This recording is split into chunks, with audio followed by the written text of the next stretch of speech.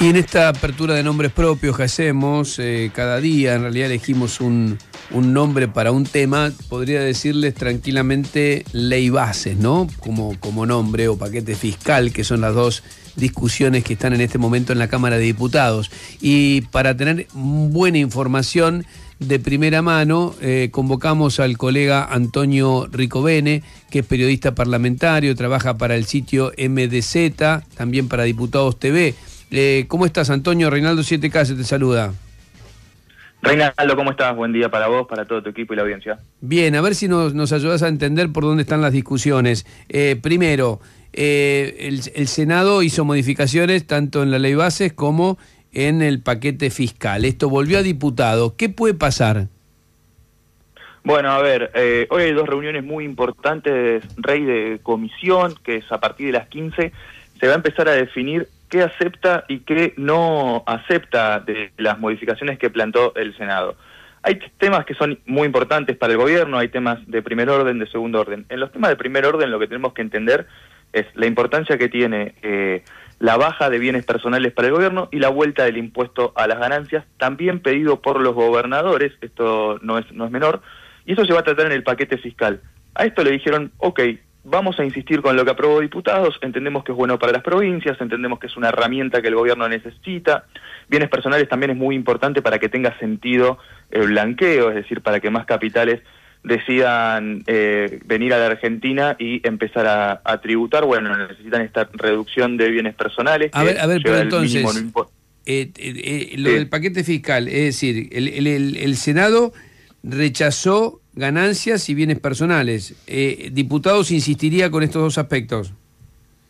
Sí, así es, así es. Estos son dos aspectos que piden las provincias, pide el gobierno nacional y, bueno, efectivamente se va a construir esa mayoría entre el bloque de Pichetto, el radicalismo, los eh, diputados que responden a los gobernadores para avanzar con esto. El otro de los temas importantes, Rey, tiene que ver con las privatizaciones. Y atención acá. Esto ya es ley base, ¿no? Eh, esto, privatizaciones es ley bases, que se va a debatir a las 15 en las comisiones. Eh, en ley bases hay una cuestión reglamentaria que parece menor, pero no lo es, porque cuando empezó la sesión en el Senado, el miembro informante Bartolomé Abdala de la Libertad Avanza, presidente de la Comisión de Legislación General, dice, retiramos del dictamen las empresas a privatizar Aerolíneas Argentinas, Radio y Televisión Argentina y el Correo Argentino. Sí. Entonces, cuando, cuando se procede con la votación en general, esas empresas ya habían sido retiradas, es decir, que el Senado no se expidió sobre la eh, privatización de esas empresas. Entonces, ¿qué dicen los diputados? Nosotros no podemos revisar algo que el Senado no trató. Entonces, el Senado eso directamente lo sacó, no existe, no, no está, no está en lo que el Senado nos trajo. Entonces, nosotros no podemos insistir sobre eso esa es la interpretación que planteó ayer en una reunión muy importante Miguel Pichetto con funcionarios del Gobierno Nacional, con los otros eh, jefes dialoguistas, y la verdad es que no le queda mucha más opción que aceptar esto al oficialismo, más allá de que la libertad avanza y el PRO sigan insistiendo, los dos en línea, en tándem, con la necesidad de insistir con las privatizaciones de estas empresas.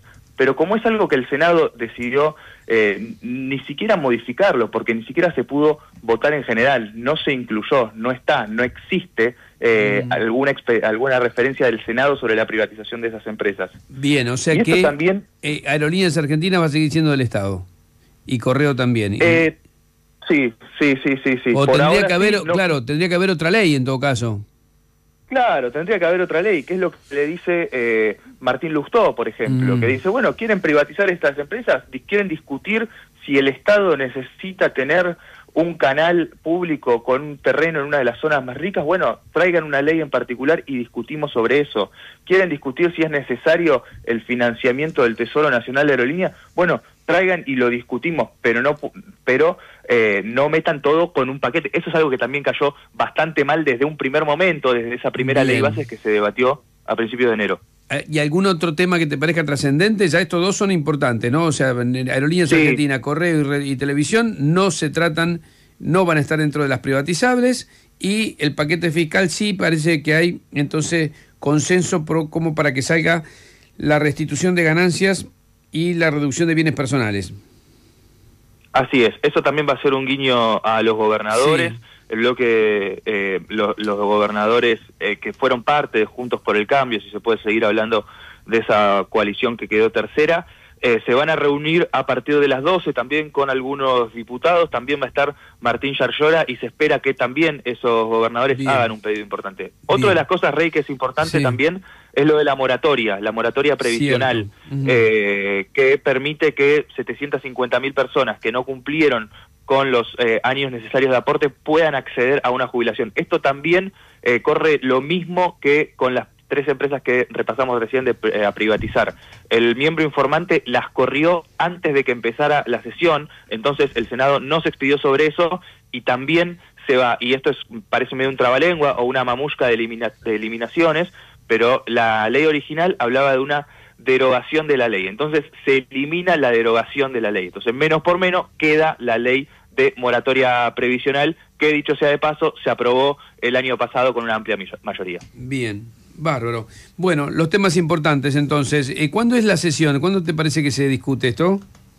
Bueno, la sesión todo indica que va a ser el próximo jueves a partir de las 9 de la mañana. Lo quieren hacer temprano, lo quieren hacer el jueves porque los, los bloques de diputados aliados, dialoguistas, dicen ya está, terminemos con esto de una vez, avancemos con la agenda que tenemos nosotros, démosle las herramientas y que el gobierno se ponga a manejar este barco.